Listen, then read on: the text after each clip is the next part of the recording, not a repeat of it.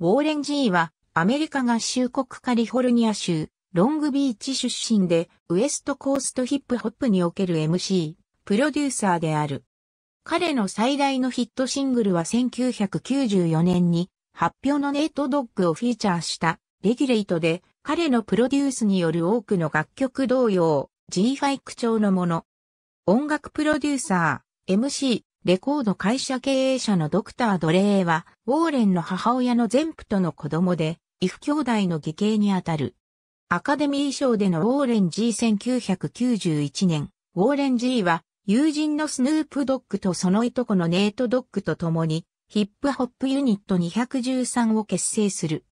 ウォーレン G が異母兄弟のドクター・ドレーに二人を紹介したところ、気に入られ、以後ドクター・ドレーとシュグナイトが設立したデスローレコーズとの関係が深くなった。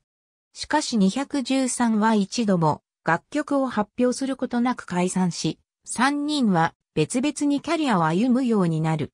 Death Row Records はウォーレン・ Gとは契約しなかったが、1992年にドクター・ドレーが発表したアルバムクロニックへの貢献を皮切りにキャリアが始まった。このアルバム同様に彼は Death Row Records から発表されるアルバムに多くの貢献を示している。1993年には彼自身とネート・ドッグ、ミスター・グリムがフィーチャリングしたインド・スモークを制作した。デフジャムレコードはウォーレン・ジートの契約により倒産の危機を乗り越えたと言っても過言ではない。ウォーレン・ジーは1994年にデフジャムからデビューアルバムレギュレイト G ファンクエラを発表した。このアルバムにはマイケル・マクドナルドの I Keep Forgetting をサンプリングしたヒット曲レギュレイトと MTV で人気のビデオクリップとなった This DJ が含まれている。1997年には以後の彼の主流となるメローな曲作りのアルバムテイク A Look Over Your Shoulder を発表した。このアルバムは I Shot the Sheriff のラップカバーがヒットとなり、ダブルプラチナムディスクとなるなど商業的成功を収める。1999年には、ウォーレン・ジーの商業的復活とは言えないまでも、彼の存在をアピールすることになる、アルバム I Want It All を発表した。